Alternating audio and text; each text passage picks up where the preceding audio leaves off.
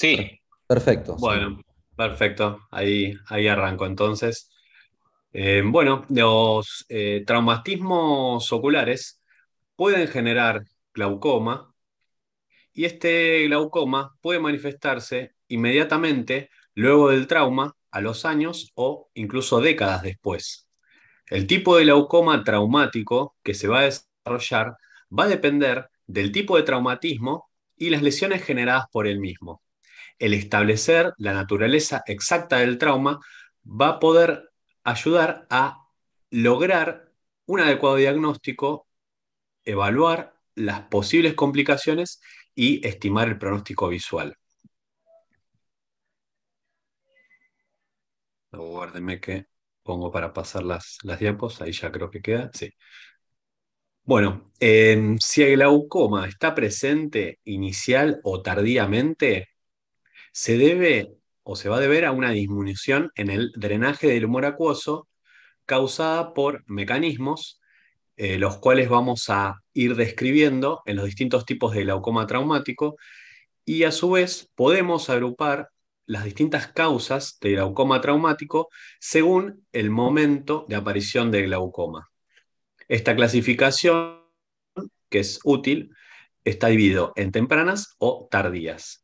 El glaucoma traumático temprano es, por lo general, secundario a inflamación, IPEMA o alguna lesión cristaliniana. Suele resolverse con tratamiento médico, lavado de cámara anterior o lensectomía, entre otras opciones. Y el glaucoma traumático tardío suele producirse por glaucoma de recesión angular o glaucoma secundario de ángulo cerrado y es más común que requiera de cirugía filtrante.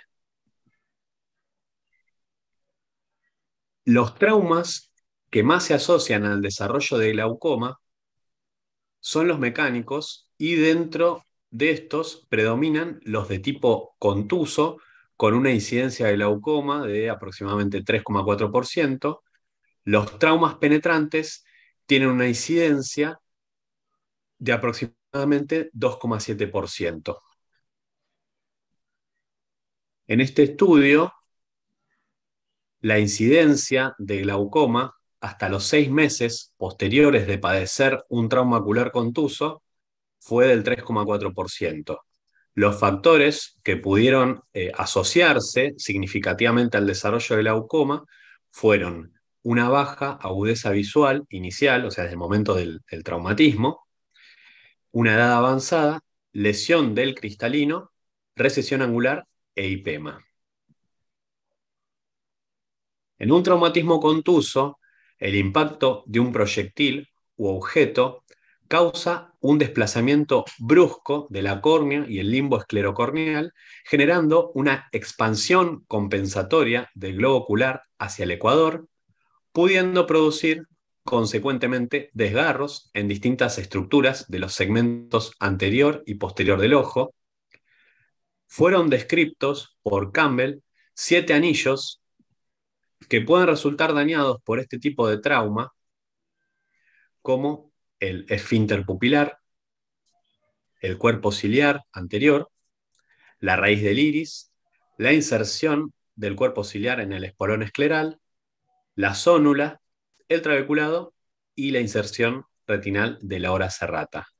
Acá en este esquema muestra también una ruptura coroidea, que es una lesión que podemos encontrar en los traumas eh, contusos muy fuertes y que va a dar una, un disminuido pronóstico visual eh, final. Algunas eh, de estas lesiones se asocian a formas específicas de glaucoma, como sucede en el glaucoma de recesión angular, que es consecuencia del desgarro entre las fibras musculares del cuerpo ciliar anterior, las lesiones que más frecuentemente se observan luego de un trauma ocular contuso son recesión angular, hipema y ruptura pupilar. Volvemos a mostrar esta clasificación y fíjense que dentro de lo que es inicio temprano tardío es una clasificación en sí orientativa. Yo sugiero que no se la tomen como que sí o sí Si es inicio temprano es porque puede ser IPEMA, facogénicos o disrupción trabecular y tardío sí o sí tienen que ser las otras opciones. Es una clasificación que nos ayuda un poco a entender los, los mecanismos y saber eh, agruparlos. Eh, acá, por ejemplo, en esta clasificación tenemos lo que es una contusión y contusión eh, sería un sinónimo de una inflamación del trabeculado que causaría una inmediata elevación de la presión intraocular en el contexto de un trauma contuso sin signos de daño, o sea, un paciente en el cual, al cual le hacemos una agonioscopía al poco tiempo o inmediatamente, que pudo haber tenido, por ejemplo, un IPEMA y no encontramos eh, ningún tipo de, lesión, pero eh, en este paciente detectamos un aumento de la presión intraocular, una hipertensión ocular. En estos casos, la gonioscopía da un ángulo normal, sin evidencia de recesión angular, sin sangre ni aumento de la pigmentación. En la biomicroscopía puede llegar a haber una reacción en cámara anterior con FLAIR, lo cual podría evidenciar una iritis traumática, y el presunto mecanismo que generaría glaucoma o hipertensión ocular sería la disminución del drenaje del humor acuoso por inflamación de la malla trabecular. A pesar de que este tipo de glaucoma suele ser breve y autolimitado, el uso de antiinflamatorios tópicos y supresores de humor acuoso acortaría el tiempo de duración de este cuadro. Bueno, acá tenemos lo que sería una imagen de un desgarro trabecular. Se considera esta lesión la disrupción del trabeculado lo cual sería un hallazgo sutil pero importante en la etiología de los glaucomas tempranos y tardíos, que requeriría de una cuidadosa inspección mediante gonioscopía bilateral. Las alteraciones documentadas a nivel de la malla trabecular van desde una hemorragia a nivel del canal de Schlemm hasta una ruptura de espesor completo de la malla trabecular en parte de su circunferencia. Estas lesiones trabeculares pueden o no asociarse con elevación del apío al momento del trauma. Con el tiempo, estas lesiones cicatrizarían y se volverían cada vez más difíciles de reconocer.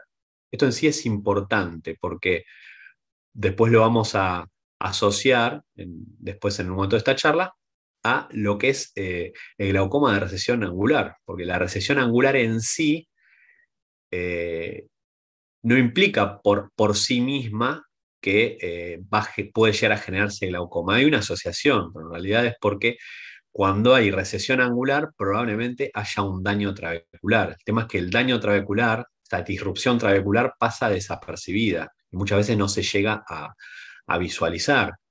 Pero hay, hay, un estudio muy importante que se hizo hace décadas, en los 60, 70, donde a los pacientes fallecidos que habían tenido glaucoma traumático se les hacían anatomías patológicas y se visualizaba una membrana tipo vidriada a nivel del trabeculada, que, lo tapizaba. Entonces, en, los sectores donde se produjo este daño, luego cicatriza y suele ser imperceptible las semanas luego del trauma, a veces inclusive por más que uno pueda hacer eh, la agonioscopía inmediatamente, puede no visualizarse y puede haber un daño. Y es por eso que eh, la SLT, la trabeculoplastia selectiva, cuando se hace en el glaucoma traumático, no funciona. ¿Por qué? Porque hay una membranita prácticamente invisible que suele tapizar el, trabeculado eh, dañado. Bueno, vamos a hablar un poco de, de IPEMA. El IPEMA es la presencia de sangre en cámara anterior luego de un traumatismo. Esta hemorragia se produce por la ruptura de vasos sanguíneos que resulta de lesiones del cuerpo ciliar como recesión angular o ciclodiálisis, o de lesiones del iris como iridodiálisis o ruptura pupilar.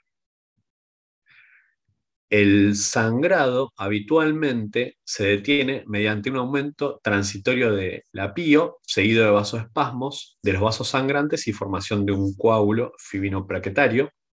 Dependiendo de la severidad del trauma, este coágulo puede llegar a extenderse desde la cámara anterior hacia la cámara posterior y ocasionalmente hacia la cavidad vítrea. El coágulo llega a su máxima estabilidad entre el cuarto y séptimo día y el IPEMA se resuelve por intermedio del sistema fibrinolítico y la sangre y sus productos de desecho luego son absorbidos mediante la malla trabecular Los IPEMAS se absorben habitualmente durante la primera semana. Los vasos sanguíneos que fueron lesionados durante el traumatismo pueden volver a sangrar si se produce la retracción y lisis del coágulo que había detenido el primer sangrado. Según las tasas reportadas, el riesgo de resangrado es muy variable y va del 3,5 al 38% de, los casos.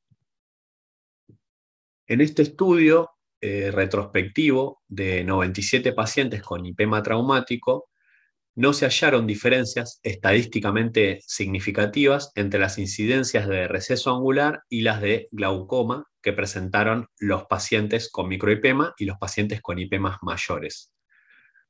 Por lo tanto, este estudio concluye que no debería subestimarse el riesgo de desarrollo de glaucoma de los microipemas.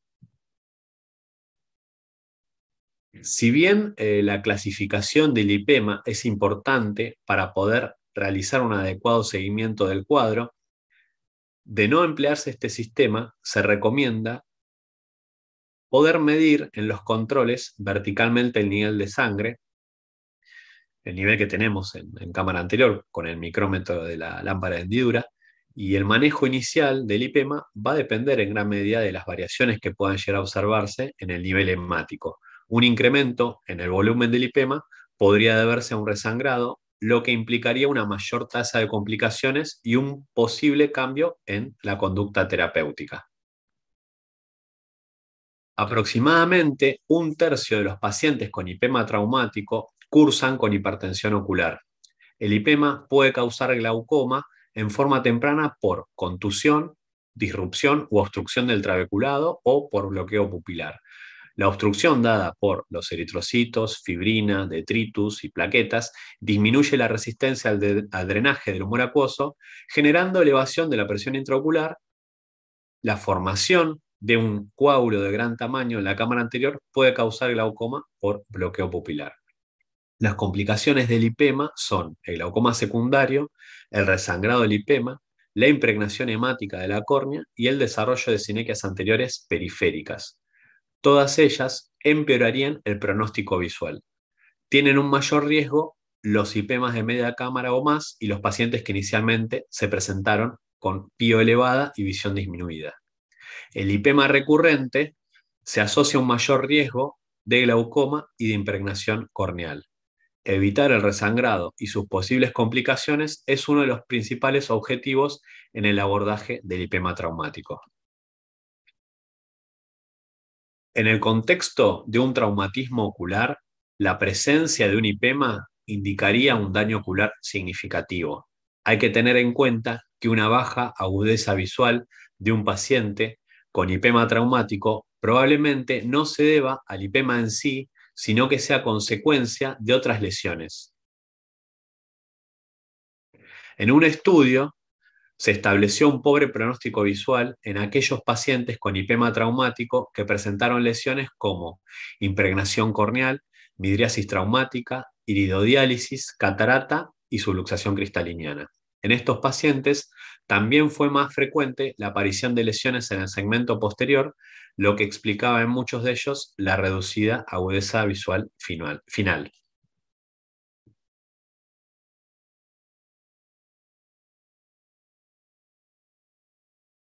El trauma penetrante tiene una incidencia de glaucoma del 2,7%. Este tipo de trauma se caracteriza por su complejidad y heterogeneidad, ya que puede acompañarse de hipema, hemovitrio, lesiones cristalinianas y un potencial glaucoma de ángulo cerrado. En este estudio en el que se evaluaron más de 3.000 heridas penetrantes, los autores encontraron una mayor predisposición a desarrollar glaucoma en los pacientes con este tipo de trauma que tuvieron como factores independientes edad avanzada, lesiones cristalinianas, baja agudeza visual inicial e inflamación. Las estructuras del segmento anterior más frecuentemente involucradas ante un trauma penetrante son iridodiálisis y laceración corneal.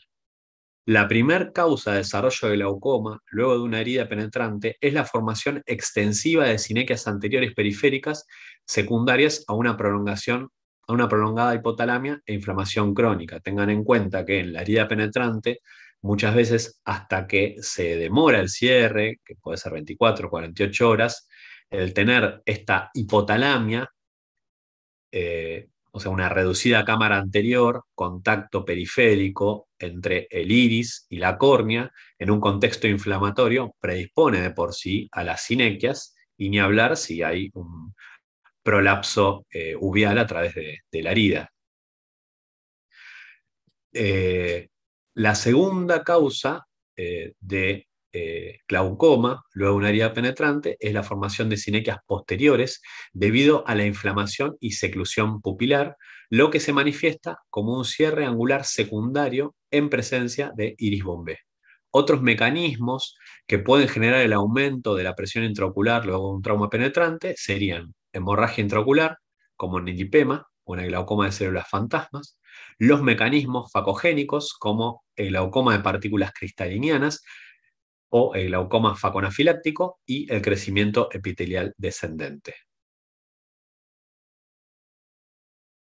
Bueno, esta es una UM de un paciente que, le hice en el hospital, que había tenido el antecedente de herida penetrante y no había consultado.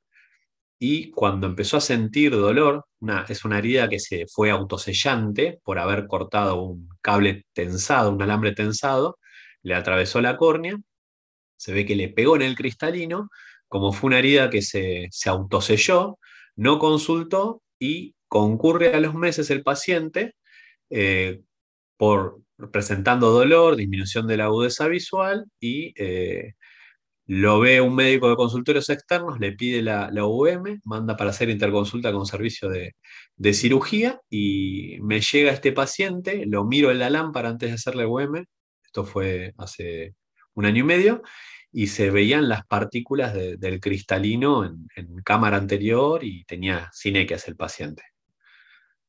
Fíjense, como se pueden ver esos fragmentos cristalinianos y se podía evaluar también la diálisis sonular que tenía el paciente. Bueno, la subluxación cristaliniana, vamos a hablar un poco de, ella. Eh, los traumatismos de gran eh, magnitud pueden producir una diálisis sonular y una consecuente subluxación o luxación cristaliniana, en la subluxación, el cristalino se desplaza parcialmente hacia adelante o atrás, manteniéndose dentro de la cámara posterior. El desplazamiento anterior puede causar un bloqueo pupilar con cierre angular secundario. En un estudio retrospectivo de más de 500 casos que inicialmente habían sido diagnosticados como cierre angular primario, se detectó que en 31 de ellos el cierre angular había sido erróneamente diagnosticado como primario, había llevado a diagnosticar erróneamente estos casos como glaucoma primario de ángulo cerrado, eh, pero había sido secundario a la subluxación eh, del cristalino. En cinco de estos casos el trauma había tenido lugar hacia más de 10 años, y eh, en este estudio establecieron como un signo de sospecha eh, la facodonesis, signo de sospecha de subluxación eh, cristaliniana. El cierre angular secundario a la subluxación anterior traumática del cristalino produce manifestaciones similares a las del cierre angular primario, un rápido incremento del apío, disminución de la agudeza visual, asimetría en la profundidad de la cámara anterior y ángulo cerrado a la agonioscopía. La subluxación posterior, como en el esquema que, están viendo, podría acompañarse de un prolapso vítreo hacia la cámara anterior, lo que aumentaría el riesgo de bloqueo pupilar. La visualización biomicroscópica del vítreo ayudaría a establecer el diagnóstico. En estos casos el ángulo suele ser abierto a pesar de que podría producirse sinequias anteriores periféricas. Eh, la lesión eh, que más frecuentemente se produce luego de los traumatismos contusos es la recesión angular, con una incidencia reportada de entre el 50 y 80% de los traumas, o sea, de los traumas contusos. sería la, la, lesión que más se ve luego de un trauma contuso. En los IP más traumáticos, la incidencia de recesión angular varía entre el 71 y 100%. Y el riesgo de eh, glaucoma está asociado a eh, la observación de una recesión angular en más de 180 grados en la gonioscopía.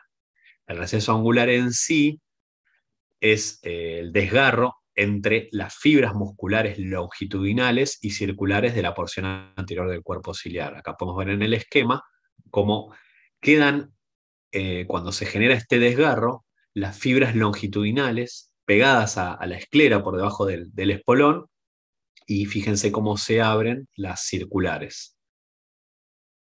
Acá tenemos eh, la imagen de, del UM, justo es un paciente que además tenía iris plato, y fíjense, el mismo paciente, en el otro ojo, cómo se ve la, lesión. No sé si van a poder identificar el, espolón. Ahí estaría.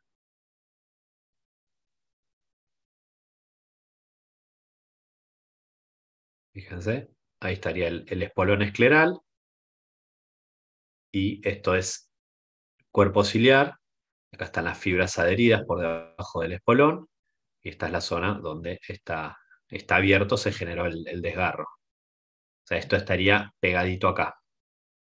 El cuerpo ciliar se retrajo y esto genera una profundización de, de la cámara anterior.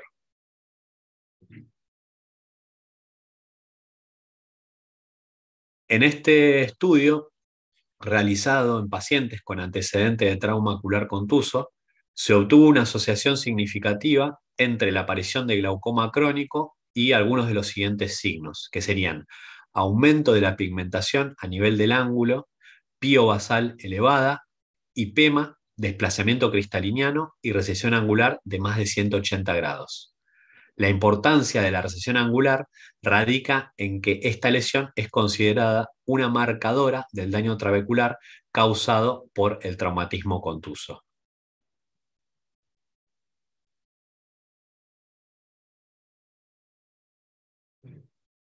Signos sutiles, sutiles en el examen biomicroscópico pueden hacernos sospechar una recesión angular. Eh, Tonhum quien publicó un, paper bastante viejo, del 68, pero muy, muy interesante,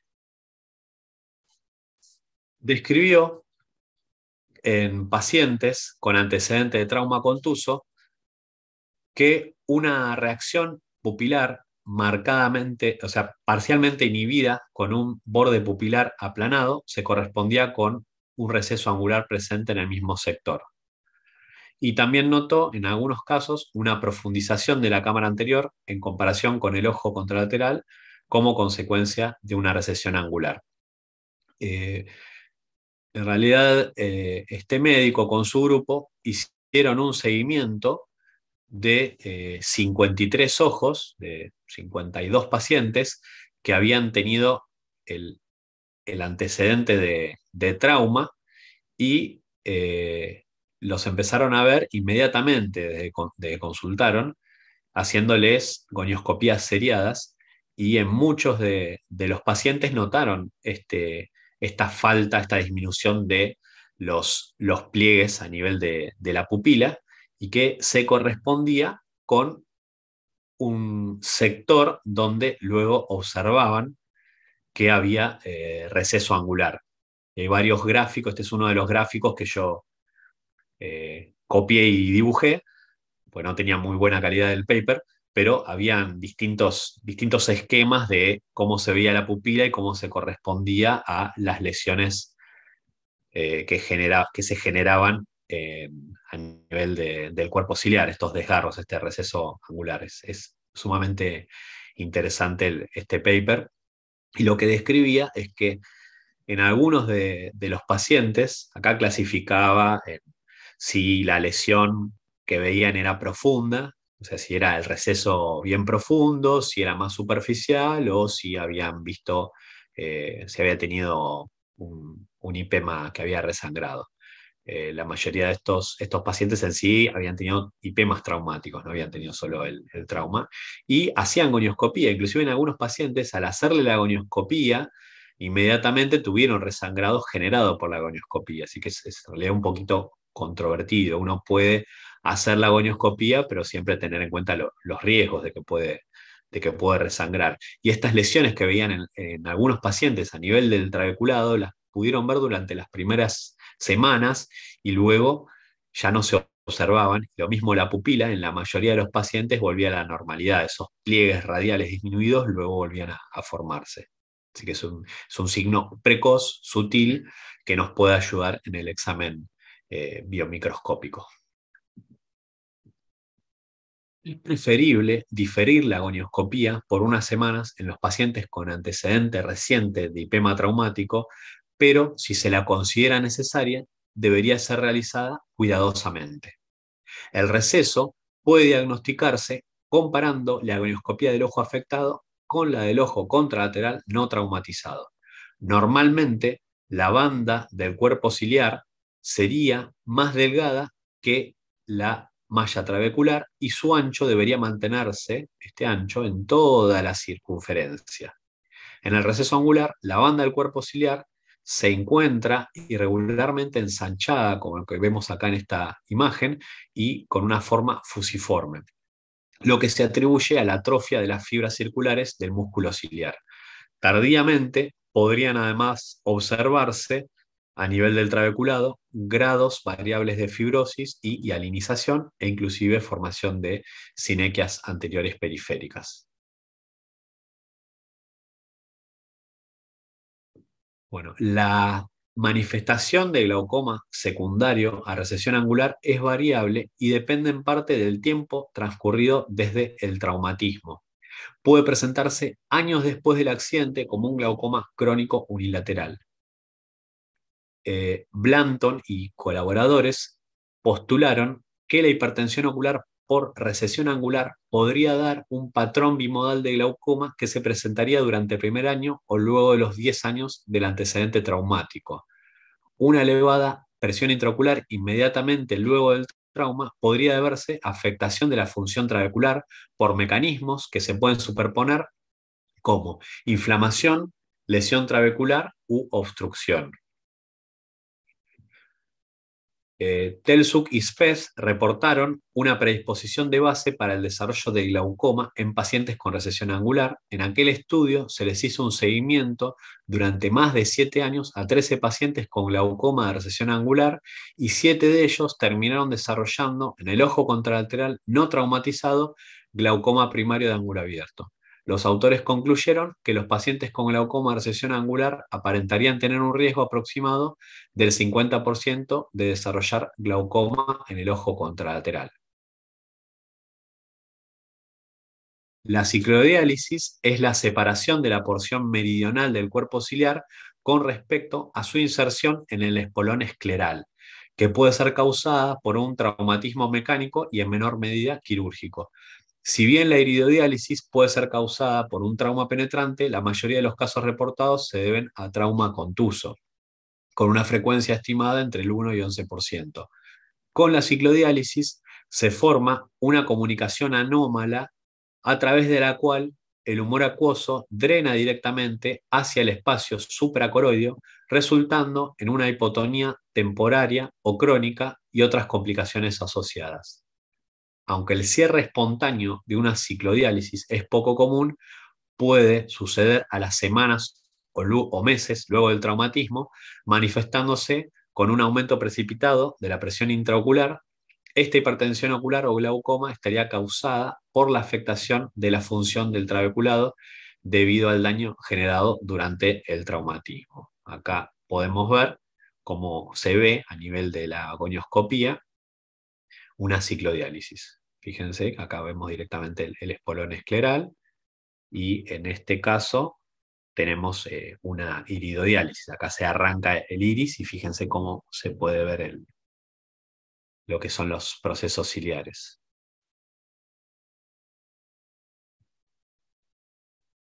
Bueno, en esta, en esta VM podemos visualizar como tenemos acá una ciclodiálisis de este lado, y fíjense acá también, está completamente separado el cuerpo ciliar, esto por un traumatismo, por supuesto, y fíjense acá cómo se eh, adhirió el iris, cómo se generaron las, unas sinequias en este sector, que esto podría ser el comienzo de una, una ciclodiálisis que vuelve a adherirse.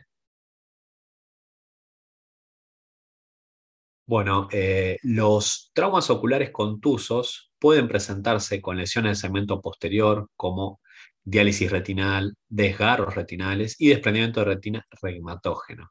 En el síndrome de Schwartz-Matsuo, que mucho tiempo se consideró un cuadro ueítico porque se veían en cámara anterior como una especie de reacción o Tyndall y en realidad eran segmentos externos de fotorreceptores. Luego se, constató, que eso se pudo constatar mediante microscopía electrónica, como vemos en, en esta foto.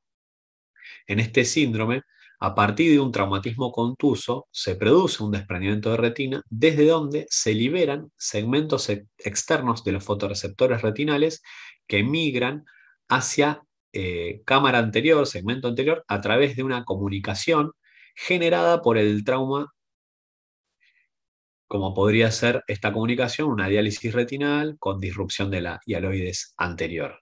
Una vez en cámara anterior, estos eh, fotorreceptores obstruyen el trabeculado, causando hipertensión ocular o glaucoma. La visualización de estas proteínas hace que el cuadro sea frecuentemente confundido con un tipo de glaucoma inflamatorio, por lo que es imperativo un examen de retina periférica para realizar el diagnóstico clínico. Y como les decía, diagnóstico de certeza, mediante microscopía electrónica de una muestra, una muestra por punción de humor acuoso.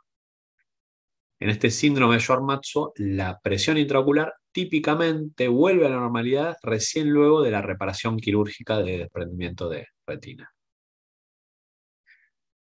En cuanto al tratamiento médico, lo más importante cuando tenemos un glaucoma traumático es poder identificar la causa del aumento de la presión intraocular, tratar de prevenir las posibles complicaciones y evaluar si el tratamiento que vamos a dar es definitivo o parcial, si con las gotas ya es suficiente para eh, evitar que, que, se complique el cuadro o si es solamente para frenar un poco y lograr el tratamiento definitivo. Frenar un poco, por ejemplo, si tenemos un glaucoma inflamatorio por una ruptura de la cápsula anterior secundaria de herida penetrante, lo cual va a requerir de, la insectomía y quizás otras, otras cirugías. En cuanto al tratamiento quirúrgico, bueno, antes que nada, volver a aclarar, es importante volver a aclarar que la trabeculoplastia selectiva en el glaucoma traumático no, no va a servir. Y en cuanto al tratamiento quirúrgico, eh, el mismo hay que establecerlo si el tratamiento convencional eh, falla, las opciones quirúrgicas serían eh, la trabeculectomía con antimetabolitos o el, implante de un dispositivo de drenaje. La, acá, el lavado de cámara anterior, bueno, por supuesto, tener en cuenta eh, un IPEMA que, no resuelve, un IPEMA que tiene riesgo de impregnación corneal, cuando hay eh, un nivel importante de sangre con mucha presión, hay que tener en cuenta este, esta alternativa quirúrgica. Y eh, la trabeculectomía podría ser una buena opción en caso de, que la lensectomía eh, no sea suficiente. En un análisis eh, retrospectivo en el que se compararon casi 90, 87 cirugías filtrantes en pacientes con glaucoma de recesión angular, la trabeculectomía con antimetabolitos tuvo mejores resultados que la trabeculectomía sin antimetabolitos y el implante de molteno. En otro estudio retrospectivo de 43 casos, se demostró la eficacia de la trabeculectomía con mitomicina en ojos con glaucoma de recesión angular, eh, que tuvo una tasa de éxito del 85% al año, 81% de los dos años. El implante de dispositivo de drenaje es otra opción quirúrgica efectiva. Eh, en un estudio retrospectivo, con un promedio de seguimiento a 10 años, se evalúan resultados de 38 pacientes operados con implante de molteno y según este estudio, la probabilidad de obtenerse una presión intraocular de 21 o menos con o sin medicación hipotensora a los 5 años fue del 80% y a los 10 años del 72%. En una serie retrospectiva de 17 casos en los que se implantó en un grupo Med y en otro dispositivo de Verbal, se obtuvo una tasa de éxito de 83% eh, en ambos casos luego de un año. Vamos con un caso clínico, ya vamos eh, finalizando. Este es un paciente que vi por guardia hace unos cuantos años, que consultó porque había tenido un traumatismo por un ondazo en el ojo, así se veía al momento de, del examen, consultó inmediatamente, va, creo que a las 24 horas, no, tan inmediatamente, pero veíamos la, ruptura de, la pupila, paciente con visión, visión bultos, eh, y se veían restos hemáticos y vitrio en cámara anterior, que eso no se puede ver bien en, la foto, no lo podemos visualizar, la presión un poquito más baja de, de, lo normal, y al fondo de ojo, en ese momento se le veía el fondo de ojo, esta es una retinografía hecha después, meses después, eh, se veía un coágulo con adherido a 6, con hebras vítreas y el, el, hemovitrio fluido central, pero me, permitió ya ver eh, lo que me apareció en ese momento, una ruptura coroidea, unas líneas blanquecinas a nivel de, la mácula. A los pocos días ya eh, no se podía ver este, lo que sería por este movitrio fluido, no podía visualizarse el, fondo de ojo y lo que era el lipema de inicio que tenía el paciente eh, fue a poquito eh, disminuyendo y se veía el, tindal hemático a los días, este, este mismo IPEMA que empezó a, resolver, a resolverse. Eh, una vez resuelto el IPEMA, empezamos a notar, pues lo veía también con el especialista en retina de la clínica, eh, que empezó a incrementarse la, presión intraocular. Seguíamos sin ver el, fondo de ojo, pero yo ya lo había visto. Y empezamos a tener a las dos semanas eh, un, un como vemos ahí en la foto, pigmentario, tipo color khaki, como, como suele describirse.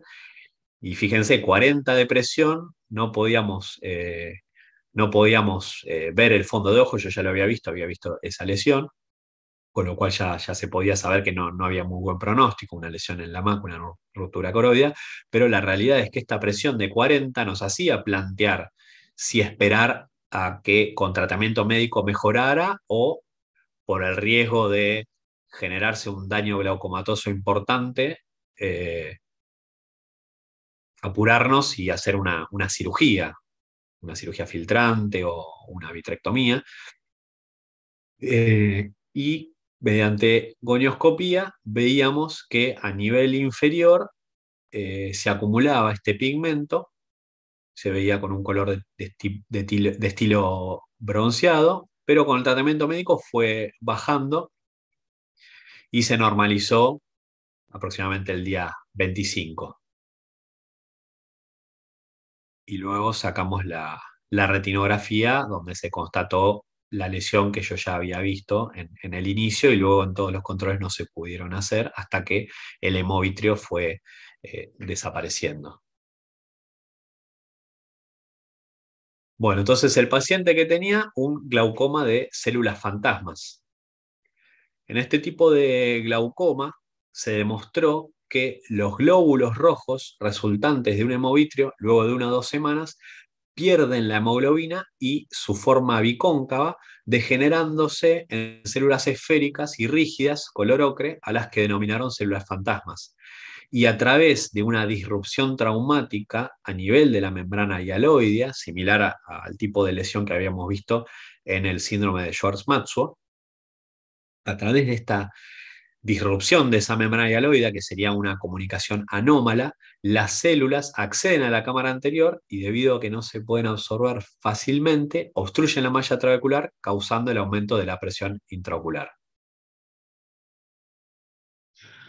Bueno, como conclusión, el trauma ocular puede generar hipertensión ocular y un subsecuente desarrollo de glaucoma mediante múltiples mecanismos. El tipo de glaucoma traumático que pueda manifestarse va a depender de las características del trauma, las lesiones oculares producidas y el tiempo de, evolución. Y si bien las lesiones traumáticas son muy eh, heterogéneas, con un manejo adecuado de la hipertensión ocular postraumática, se podrían llegar a evitar muchas de las posibles complicaciones. En muchos casos, el glaucoma traumático se va a poder mantener bajo control mediante tratamiento tópico y si las medidas conservadoras fallan, las opciones quirúrgicas proveerían un mejor control de la presión intraocular. El manejo debería apuntar a la prevención de un mayor daño en el ojo, en el ojo ya lesionado. Bueno, ahí llegamos al, final de la presentación. Muchas gracias. Eh, excelente, Pablo, por eh, tu, charla. Muchas gracias. Realmente nos aclara muchos puntos, sobre todo porque no son casos muy frecuentes tampoco, ¿no? Como mencionábamos, básicamente es en, eh, mayormente sectores hospitalarios que recibimos este tipo de pacientes. Y te quería... muchas gracias. Quería eh, hacer una pregunta. Si has eh, experimentado en algún caso de glaucomas traumáticos con, con láser, ¿no? Con ciclofotocoagulación eh, o terapia micropulsada. Em, no, no, no, no he experimentado. Em, por la experiencia que tengo, eh, yo estoy hace 13 años en el Hospital Santa Lucía, donde tenemos muchos pacientes de, trauma, y de ahí hace 10, 11 años me dedico a, glaucoma. Y tengo unos cuantos casos de, glaucoma secundario a trauma, y la realidad es que la mayoría de los casos andan bien, por lo general andan bien. Muchas veces, cuando estamos en un periodo inicial secundario al trauma, con tratamiento médico hay que esperar con acetazolamida y tiende a, a, mantener una presión más baja, a veces a las semanas, y tengo muchos colegas o fellows que, que por ahí piensan que hay que operar o, me consultan porque yo tengo, tengo muchos eh, seguidos y para mí la idea es esperar, esperar un tiempo, unas semanas, y la mayoría de los casos es, suficiente con tratamiento médico. Eh, pero si la presión es muy alta, y, no hay lesiones de, gravedad en el segmento posterior, eh, muchas veces sí nos planteamos de, operar a los pacientes y tengo pacientes operados de trabeculectomía y de válvula que anduvieron muy bien y lo que es eh, tratamiento con eh, ciclofotocoagulación, no, no tengo experiencia con este tipo de casos, de hecho en general no, no tengo mucha experiencia y básicamente andan bien los pacientes con, estos otros tratamientos. Eh, probablemente anden, bien con, tratamiento láser eh, y eh, con ciclodestrucción en algunos casos, supongo que, en algunos cuadrantes también podrían llegar a andar bien. En caso de, ustedes, ¿tienen experiencia? Eh, no tanto tampoco, más durante la época de la pandemia sí usamos bastante el, el, ¿no? Con termociclo. Y bueno, en algunos pacientes eh, servía para menguar un poco el proceso hipertensivo, ¿no? Que es lo que nos preocupaba. Pero lo que tú has mencionado es muy importante, ¿no? Muchas veces encontramos el cuadro un poco aparatoso y, y encontramos la presión alta y nos preocupa que se mantenga así, pero uno de los puntos más importantes en estos procesos que muchas veces están por, eh, por el mismo proceso inflamatorio con la presión alta es esperar, manejarlo con algunos antihipertensivos en forma médica e ir viendo cómo se va acomodando de alguna forma eh, el ojo reabsorbiendo el sangrado y disminuyendo la inflamación y a partir de ahí tomar una decisión quirúrgica. Eh, Sí, también, este, efectivamente, en algunos pacientes sí use este, termociclo y en algunos también este subciclo, y nos sirve por lo menos para que el cuadro esté un poco más tranquilo en, en, casos en los que hemos visto que las presiones se mantienen altas, ¿no? Eh, hemos visto también que después hay un pequeño rebote, pero ya se puede manejar eh, de otra manera, quizás más agresiva o quirúrgicamente con, con válvulas o contra Bien, no sé si alguien tiene alguna pregunta. Eh, sí, este, justo que hablaban de este tema, de la presión intraocular elevada. Hola Pablo, ¿cómo estás? ¿Qué tal, Juan Carlos? ¿Cómo excelente charla, excelente, muy buena charla. muchas gracias. Pablo, ahí te quería preguntar, por ejemplo, sí, lo ideal es esperar, ¿no? Sí, también he tenido experiencia en eso, de que el paciente venía con este tipo de trauma y esperando como que se puede resolver, ¿no? Pero si estamos con la presión elevada y no baja con antihipertensivos, eh, ¿cuánto tiempo más o menos esperas eh, para operar y, cuál sería tu, tu cirugía ideal, ¿no? si la trave o la válvula? Em, yo esperaría algunas semanas. Em, depende, si el paciente está con tratamiento tópico máximo, supongamos que en 30, sin acetazolamida, le, indico la acetazolamida y en realidad no es que espero a tomar la decisión. Ya cuando el paciente está así, directamente le voy pidiendo los prequirúrgicos y, y el paciente ya que se vaya haciendo la idea que si en una semana o dos semanas, si en una semana, por ejemplo, no baja, quizás pongamos fecha, si vemos que el paciente está también convencido de que conviene operarse. Eh, me ha tocado un par de casos donde el paciente llega ya vitrectomizado, porque había tenido un trauma muy fuerte con hemovitrio, y eh, después de la, vitrectomía, quizás si el paciente no se le podía hacer el, fondo de ojo, se le hacía solamente la, ecografía por, por, el hemovitrio, durante la vitrectomía que hayan detectado una lesión macular, una ruptura coroidea, ha pasado en dos pacientes por lo menos, quizás, un, quizás hasta tres, y llegaban con valores muy altos de, presión, eh, no sé si secundario al, aceite de silicón o porque eh, quizás no habían eh, llegado a, evaluar bien, bien la presión y cuando se dieron cuenta ya estaba con, mucha presión. Y en esos casos donde hay un pronóstico visual muy bajo, se puede esperar un poco más, porque ya sabemos que, que el paciente no va a ver y lo ideal en, en estos pacientes eh, que ya tuvieron una vitrectomía es colocar una, válvula y si no tuvieron una cirugía previa, una trabeculectomía se puede hacer, pero hay que tener mucho cuidado en ambas cirugías que no haya vitrio en, cámara anterior. Si llega a haber vitrio en, cámara anterior, eh, probablemente convenga poner una válvula y el tubo dejarlo alejado de, la zona donde veamos que esté el, vitrio. En esos casos eh, sirve mucho eh, hacer una UM para, evaluar dónde hacer la cirugía. Excelente. Excelente. Acá hay una pregunta que el público, el doctor Fernando Silva, pregunta si recomendarías hacer un lavado de cámara anterior por IPEMA o IFEMA y junto con hipertensión ocular si es que no baja la presión pasado algunos días, no, no especifica cuántos, pero digamos que sea una semana y, o dos semanas y, tú ves que no, no se arregle el cuadro. ¿Recomendarías hacer el lavado?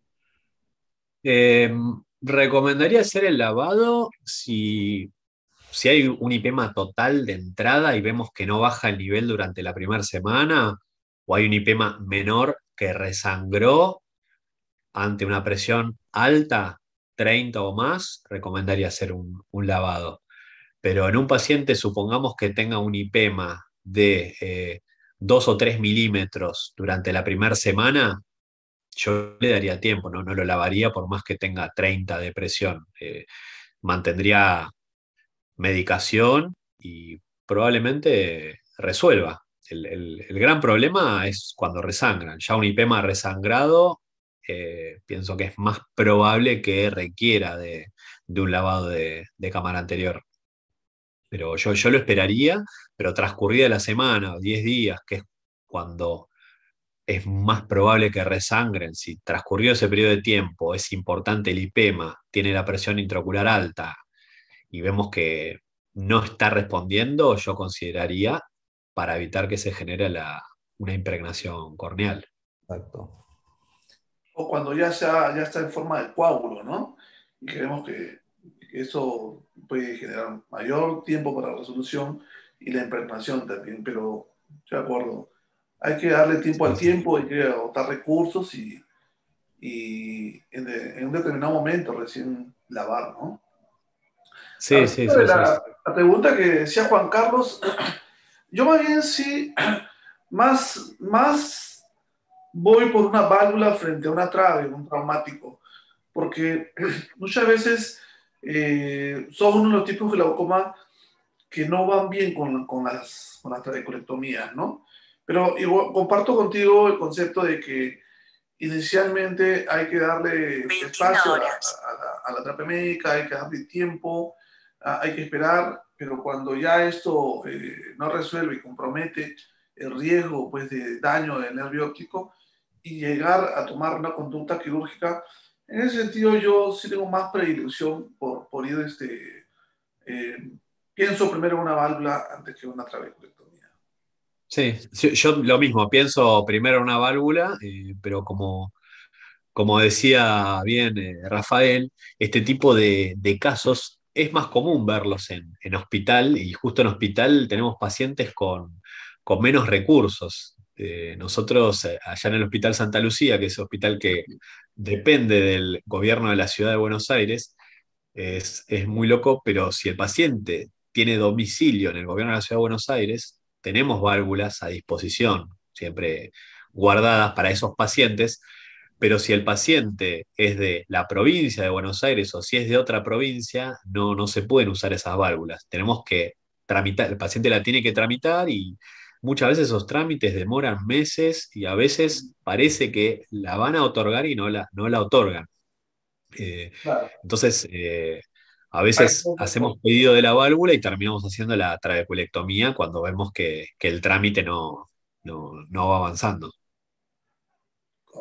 Yo tenía una pregunta, Pablo. Este, excelente charla primero para decirte que es eh, muy, muy bien eh, presentado y, siempre es de mucha utilidad escuchar todo tan, tan resumido en, esta hora que, de algo tan complejo.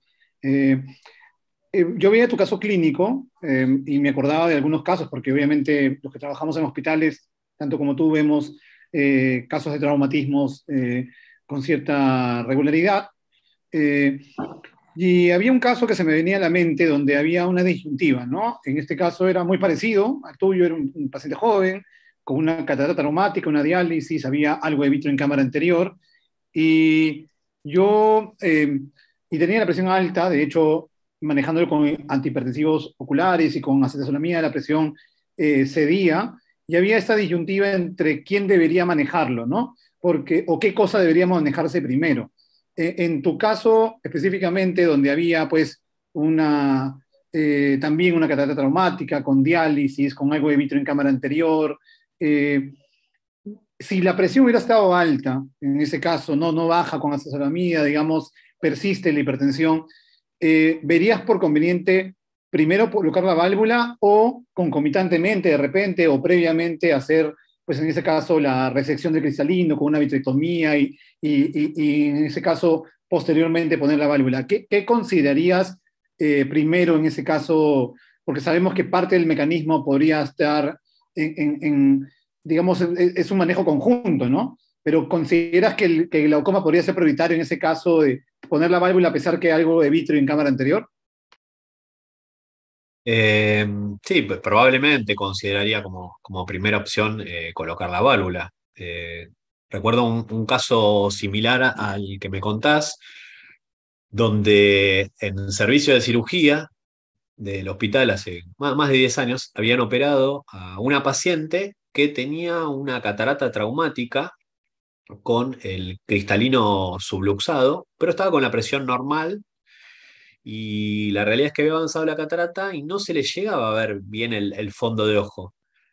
Eh, resuelven hacerle, la presión estaba normal en ese caso, resuelven hacerle una cirugía intracapsular eh, con vitrectomía, con eh, sutura, con anclaje escleral de, la lente intraocular, y en el posoperatorio manejaba unas presiones de entre 40 y 60 que a pesar de la medicación no bajaban con nada y le, me la pasan a la, paciente para que le, le ponga una válvula y como había quedado con una midriasis completa la paciente, no se llegaba a ver el vitrio por, el edema epitelial, el edema corneal. Yo sospechaba que había vitrio, que probablemente haya sido el vitrio responsable de, ese aumento de la, de la presión. Entonces eh, lo indiqué para que le hiciera una, una vitrectomía completa, incluyendo la base del vitrio, y le coloqué la, válvula por, por pars plana. A lo, a lo, que voy con esto es que probablemente con esa cirugía de catarata, con esta subluxación y con vitrio, hay una posibilidad de que secundario a la cirugía se exacerbe la, hipertensión del paciente. Eh, entonces, probablemente, como manera preventiva en este, en este caso, eh, convenga colocar antes la, la, válvula y tener mucho cuidado en la cirugía. La cirugía convendría hacerla con un, con un también y eh, evaluar bien que no, que no, se, no quede vitrio que pueda llegar a tapar el, dispositivo después de la cirugía.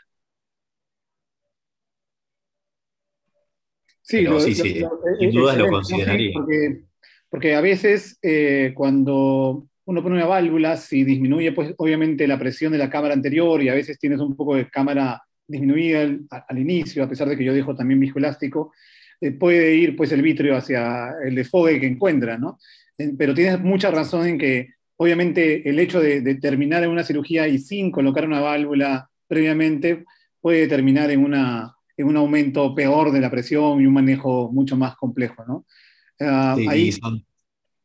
algo no menor, Santiago, a tener en cuenta también en estos casos es que por lo que yo vi en, varios casos de que con el trauma se genera una subluxación del cristalino, el trauma contuso es tan fuerte que puede llegar a generar estas eh, roturas de la coroides y si está a nivel de la mácula la, ruptura coroidea va a dar una agudeza visual baja, da un mal pronóstico. Entonces, si uno está planteando hacer una o varias cirugías en el paciente, hay que evaluar eso también, porque eh, supongamos que sean en una clínica privada, que sean cirugías que el paciente tenga que pagar, cirugías particulares, si uno no da un resultado de mejoría de huesa visual, eso puede llegar a generar un, problema.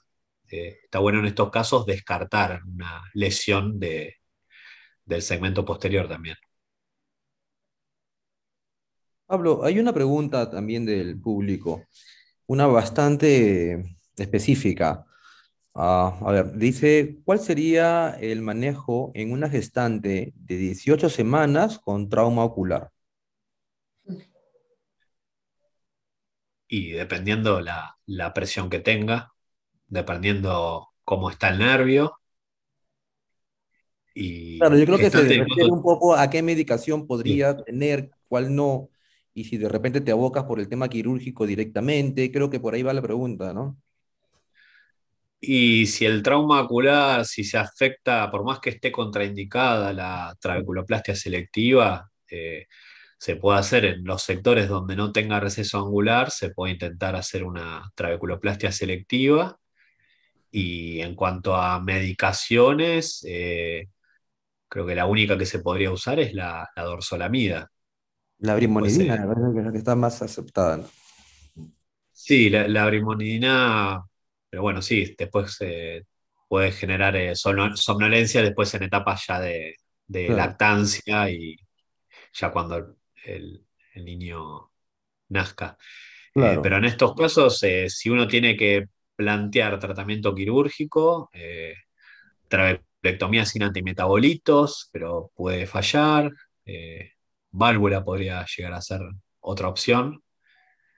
Eh, claro, habría que pensar también en, qué momento de, del trauma está, ¿no? Porque estamos hablando de esperar un tiempo, eh, podría ser, pues yo generalmente les doy un tiempo de dos semanas para ya reaccionar a una posibilidad quirúrgica. ¿no? Yo creo que podría ser, en, estos casos, eh, tratar de evitar lo más posible una medicación directa a las gestantes, pero si tiene una presión alta, muy alta, pues hay que tratarlo porque va a traer consecuencias. En este caso, quizás podría ser factible usar una ciclofotocoagulación, ¿no? Como una, claro, como una cosa paliativa hasta ver cómo se va comportando, tratando de evitar comprometer en lo posible al feto, ¿no? Sí, sí, ni hablar, ni hablar. Pero la realidad es que en muchos de estos casos se termina postergando el tratamiento hasta que, hasta que termina el periodo de lactancia, en muchos casos. Eh, pero sí, una subciclo sería una opción viable. Claro, podría ser una posibilidad. Hay otra pregunta eh, en la que ponen, bueno, dice, un recién nacido a término de 20 días de vida que eh, se encuentra con hemorragia vítrea e hipertensión ocular, opacidad corneal, una cruz, y la madre niega antecedentes de trauma. Bueno, un poquito eh, habría que ver la causa, ¿no? Dice, pero me mm, preguntan. Muy específico lo que dice. Muy, muy específico. Es un caso real, sí. de, violencia. No, sé si te habrá tocado algún caso así, particularmente yo no veo niños, pero no sé si tú tienes experiencia en eso. No, no, no, tampoco. Eh, no, no, tengo mucha experiencia en, niños. los chicos que tengo operados son a partir de los 14 y 15 años en, en hospital. Niños que ya cuando cumplen esa edad de, uno de los hospitales pediátricos donde, donde los operan, los, los mandan al servicio y bueno, a veces tengo que hacer otra cirugía, pero a partir de esa edad, 15 años diría, en adelante. Claro, quizás en este caso habría que pensar en un trauma en el parto, ¿no? Alguna, algún accidente durante el parto o alguno que le haya producido directamente el trauma al, niño, ¿no? ¿no? se me ocurre otra cosa. Sí, o, alguna, o alguna causa de hemorragia vítrea o patología vitreoretinal en, en recién nacidos que secundariamente esté generando un glaucoma. Claro. Ah, hay otra pregunta más, dice, eh, si, preguntan si se puede usar algún tipo de mix en el glaucoma traumático. Eh, no, no tengo experiencia en, mix, lamentablemente. Eh, el único que está aprobado acá en Argentina, el, el iStent, y creo que era primera generación, así que tengo hecho más que nada un, wet lab, pero no, no, no tengo experiencia. Particularmente tampoco lo manejamos mucho en Perú. Ahora, de hecho, en, los glaucomas traumáticos lo, que más vemos afectado es la malla trabecular, ¿no? La zona justamente donde se aplicaría el MIS, creo que no sería, sería un poco contraproducente tratar de manejarlo a ese nivel en todo caso, ¿no? Yo creo que me quedaría con el tema de la válvula o por ahí una trabeculectomía como, como principal opción, no, no, no he escuchado. De repente, ¿sabes cuál podría ser? El Infocus. Ajá. El Infocus yo creo que podría darle una chance si la pregunta al mix, ¿no? Porque es vía subconjuntival y es un tubito, pues, ¿no? Un drenaje directo a la subconjuntiva. Sí, exacto. Sí. Sí, yo pensaba lo mismo, Juanca, pero, pero igual el requerimiento de disminución de la presión obviamente va a ser mucho mayor cuando es este, traumático generalmente. Definitivamente, claro. Y, y, el, y el Infocus un poco emula el resultado de una trave, ¿no? Entonces tiene el mismo, tendría el mismo problema que la trae, y, como lo conversábamos, este, si, eh, la preferencia siempre es una válvula, y creo que el Infocus es más costoso que una válvula, o sea que por ahí, claro. por ahí ya, ya estamos perdidos. O sea, si hay, si hay algo de dinero, válvula, ¿no? Claro, hay, hay, factores para poder este, no colocar a un, a un MIG un tratamiento primario o, de primera elección en un glaucoma este, postraumático, ¿no? Algo muy, muy, muy, muy cierto y creo que es una de las cosas que más debe quedar claras en esta reunión, es lo que muy bien ha explicado Pablo, es de que por más que veamos un ángulo abierto, que visualmente podamos definir todas las estructuras, y es más, hasta podemos verlo más abierto cuando existe una recesión angular, una diálisis, vemos mayor apertura, pero lo que existe y no lo podemos, eh, digamos, pesquisar visualmente es aquella membrana de simétrica que, se, que crece y que tapiza todo, todas las estructuras del ángulo post, eh, tiempo después de un glaucoma postraumático. Entonces, eso, cualquier MIG que esté muy, muy, muy, muy pegado al, digamos, al, al en fin, puede ser nuevamente recubierto por esta, por esta, esta membrana que, que, lo, lo, que dice Santiago es, es también muy, muy, cierto, ¿no? Este, finalmente, eh, Infocus es este, un poco apoyo dependiente, uh, los costos y eh, la anatomía del ángulo definitivamente eh, suele afectarse en estos, en estos este, traumatismos oculares, ¿no? De tal forma que si bien es cierto, todo puede pasar, pero eh, personalmente creo que no es una de las primeras opciones a pensar en un, glaucoma este, postraumático. yo creo que, que, no sería la opción, más bien, ¿no? No es una opción, así de simple, yo creo. ¿no? Claro, o sea, no, no, no, no existe, no, o sea, no hay una variable de peso como para... Ni hablar. tiene toda la de perder, o sea. yo quería preguntarte, mencionaste Al también, no sé si podrías ampliarnos un poco, eh, que en un estudio se mencionaba que se la probabilidad de un glaucoma en el otro ojo que no ha sido dañado era de un 50%. Eh, no sé si nos podrías ampliar un poquito esa parte, ¿Cómo, cómo es el mecanismo para que se dé esa posibilidad. Sí, es, este es un estudio que hizo SPEF y colaboradores, donde inicialmente Inicialmente habían reclutado aproximadamente 50 ojos, eh, de los cuales la gran mayoría eran pacientes de SPED y tenían el antecedente de, de, trauma referido hace más de 10 años, la mayoría de los pacientes. O sea, SPED lo venía siguiendo hace tiempo y junto con otro colega de él, juntaron algunos casos más y descartaron aproximadamente la mitad o un poco más de la mitad de, los pacientes porque tenían esos pacientes otras posibles causas como pseudoexfoliación, etc. Entonces los descartaban. Y eh, de, esos pacientes eh, les pudieron hacer un seguimiento solamente a, creo que eran 14, 14 o 13 pacientes, y de esos 13 pacientes, 7 terminaron desarrollando glaucoma confirmado o sospecha de glaucoma, que es aproximadamente la mitad. Y entonces, a partir de ese estudio, lo que, lo que se, se piensa es que en sí el glaucoma traumático, o puntualmente el glaucoma de recesión angular, que sería el glaucoma crónico de los glaucomas traumáticos, eh, tiene cierta predisposición en algunos pacientes, o sea, no todos los van a desarrollar. Es más probable que los, aquellos pacientes que tengan predisposición a, a tener un glaucoma de ángulo abierto, glaucoma primario de ángulo abierto, cuando tienen el trauma, eh, se le desencadena antes el, glaucoma. Eso, eso, sería, es como una teoría. No, claro, no, se encontró una, una, una causa, causa-efecto, una razón eh, digamos, fisiopatogenia para poder explicar esto, pero se ve la relación, se encontró la relación entre, entre claro. eh, glaucoma postraumático en el ojo contralateral a largo plazo sin claro. de glaucoma en el ojo sano. Es una relación. Es, importante. No, no, recuerdo el nombre ahorita, este, pero sí, tiene, hace, hace, hace más de 20 años este, se hablaba ya de esto, ¿no? y no existe una, forma de, explicarlo.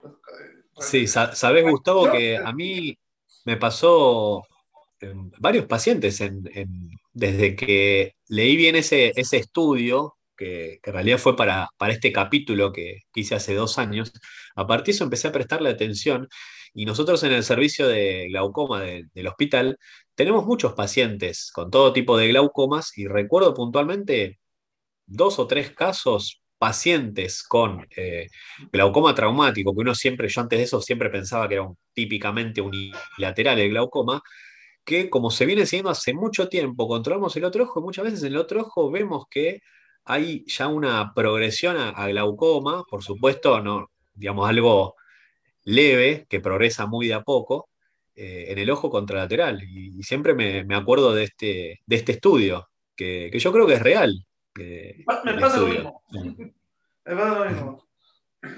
Salvo que fueran boxeadores, ¿no? Porque reciben por los dos lados. Yo, vi un caso en el clínico con Javier Casiraghi y ahí se me quedó, le presté atención, como dices tú, ¿no? Cada vez que hay algo siempre ando chequeando, chequeando y, bueno, he podido ver este, algunos pacientes, ¿no? No, no, no tanto, pero por ahí, para pacientes que hacen esto. Ahora a mí me queda un poco la, la idea también de que eh, en estos pacientes específicamente eh, son mucho más controlados que cualquier paciente de, la edad que suelen ciertos pacientes con trauma, ¿no? Gente joven que muchas veces no van al médico a menos que tengan alguna molestia y eso pasa a partir de los 50 años probablemente, muchas veces.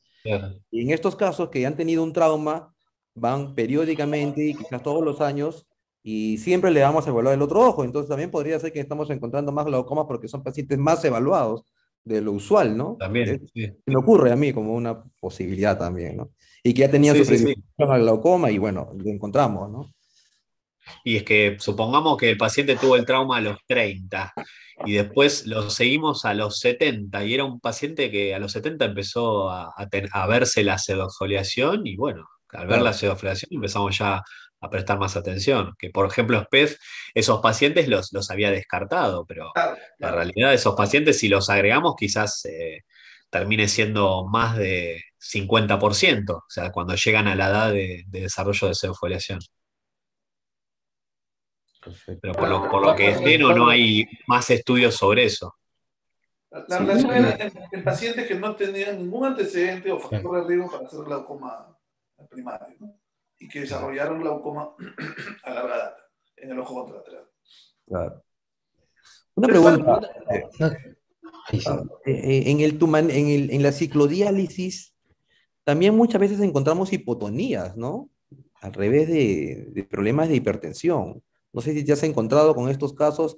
Y, tú sí, es que es lo más común. Es lo más común que haya hipotonía y en realidad el asocio con, la asociación con glaucoma traumático con la ciclodiálisis es por el cierre espontáneo de la ciclodiálisis, que no es muy común, pero suele suceder, pero muy poco frecuentemente a los meses o años. Ahí hace como un efecto rebote, pero la realidad es que la ciclodiálisis, cuando se produce un trauma muy fuerte, termina compensando y...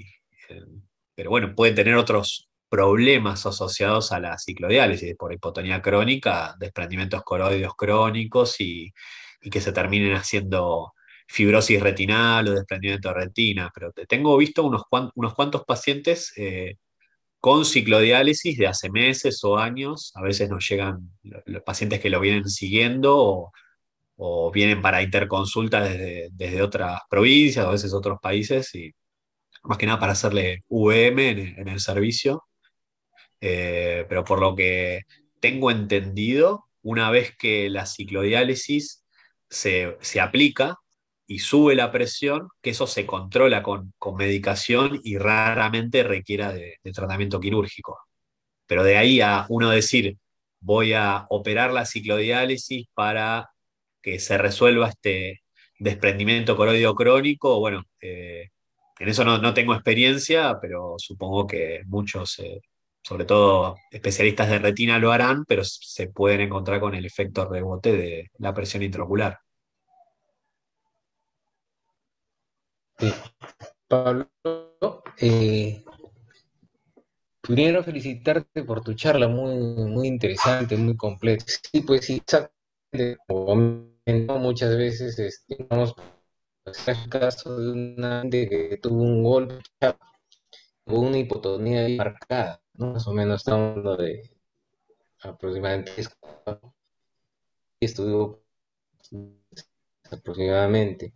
O sea, un VM, y sí, pues efectivamente, una ciclodia eh, determinado cuadrante, me parece algo de 90 grados, y una eh, terapia, digamos, de ciclopresión, cuando logramos eh, cerrar la ciclodiálisis, levantó presión ocular, ¿no?